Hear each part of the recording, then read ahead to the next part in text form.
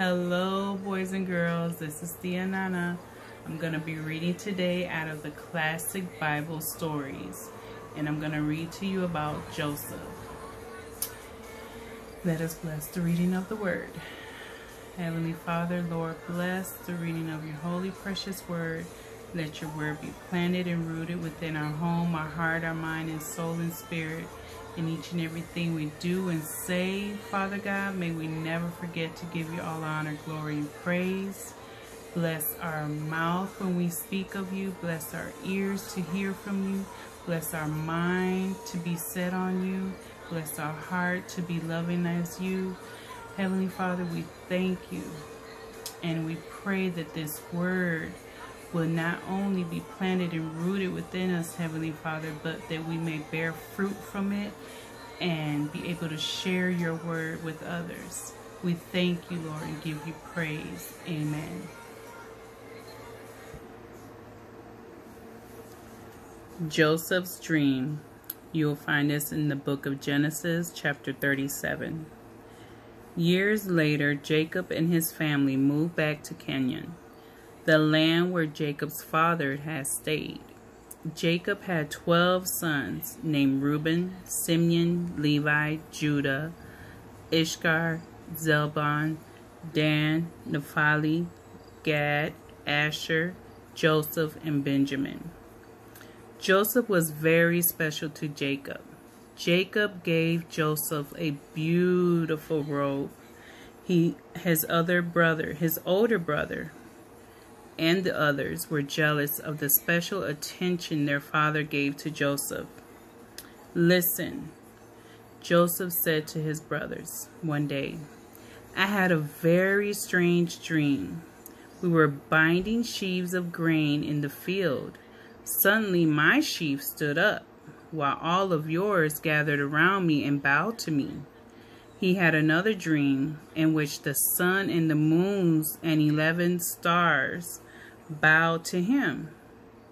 Who do you think you are? His brothers asked him. Do you think that you are better than all of us? Do you think that we will bow down to you? Joseph's dream, well, his dreams made his brothers even more jealous of him. But his father thought carefully about his son's dreams. One day, Jacob sent Joseph to check on his brothers in the field. When they saw Joseph coming, they planned to kill him. Reuben, the oldest, said, Do not kill him. Just throw him in this well and leave him. Reuben planned to come back later and rescue Joseph. When Joseph came, they tore off when Joseph came, they tore off his beautiful robe and threw him in the well. Some merchants came by, and the brothers sold Joseph to them as a slave. When Reuben came to try to pull Joseph out the well, he was gone. He was on his way to the land called Egypt, where merchants sold him to Potiphar, captain of the guard, the Pharaoh of Egypt. The rest of the brothers dipped Joseph's beautiful robe in goat's blood and took it back to their father. Jacob believed that Joseph had been killed by a wild animal. Jacob mourned greatly for his son for many weeks. So on in this story I want to talk to you about dreams. Dreams can be visions from God, can be a sign from God, can be um, stuff that you know God will show you that are gonna happen or um, just signs and visions. And sometimes a lot of our dreams come true or come to pass should I say. And then um, when God speaks to us in dreams sometimes he can clearly make it more clear when we talk about it to someone else who understand dreams. And um, some I don't call scary dreams dreams. I call them nightmares. So dreams to me are positive stuff that God gives us that are going to come to pass or um, is a sign, a warning, um, a vision, a positive vision for our life, or a warning to just let us know and prepare us. Because sometimes God shows us in dreams and prepare us for um, destruction in the future, like something that will happen. Um, it could like it could be a destruction. It could be something joyful. I mean, God speaks to us also in dreams. So God was speaking to Joseph in dreams, showing him how the brothers will bow down to him. And he couldn't understand why he kept dreaming of, you know, stuff bowing down to him. He don't know that the power and authority that he will have in the future. Okay, and then I want to point out about jealousy. Jealousy is not a feeling that we should carry or we should feel towards our brothers and sisters because um, in God's eyes, we are all brothers and sisters. And God wants us all to love one another equally and to support each other. Um, jealousy can grow anger, jealousy can grow hatred jealousy can make you be a mean person. So jealousy is not a good thing to be or to act or to carry in your spirit.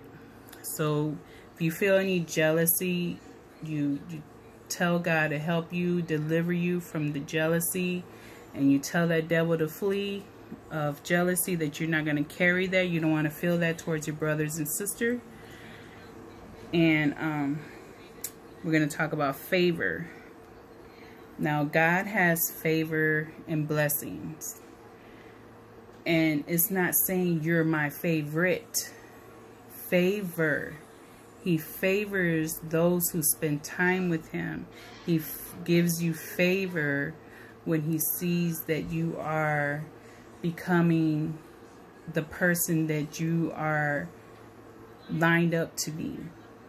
So favor is is like showing support to the righteous and being blameless of you're not perfect, you're not innocent, but you're blameless of all these other things that people do and say that want to live in the world and be worldly like. And favor is not being a favorite favor falls into blessings and how you see okay i'm gonna since you've been doing so good you you i want to give you this i want to bless you with this i want to bless you with money or i want to bless you with this gift so just remember favor does not mean you're someone's favorite favor is because they see your works that you have done and they feel that you deserve something in return. Um, now Jacob, which is Joseph and all the brothers' father, he mourned. Mourn means when someone is depressed because of what is a heavy sadness. Mourning means like um, you're crying, you're heavy hearted, your your heart is broken, and mourning can lead into um, depression if you cry just so much and stay in that mourning. So I can just imagine Jacob holding his son's coat with blood and not holding his son in his arms and just thinking that a wild animal must have eaten him but yet the brothers sit around and know the truth. All these, you know, years or the time that has passed by. So, um, also with um, jealousy,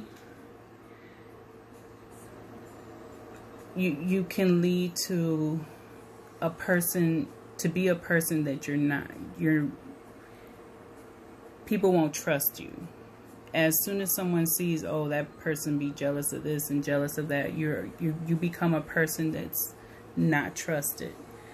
So in this story, I want to really point out about how we should be as brothers and sisters. We should always want to uplift one another and love one another as we should, as Christ has loved us. Jesus didn't divide. He he when he was on earth, he didn't divide everyone. He loved everyone equally and he tried to see the best in everyone. Yes, the enemy was around, but he always recognized that's the enemy working in you. So I'm, I'm going to pray for you. And that's what we're supposed to do to, for our brothers and sisters. When we see something that is not of God, then we pray for them.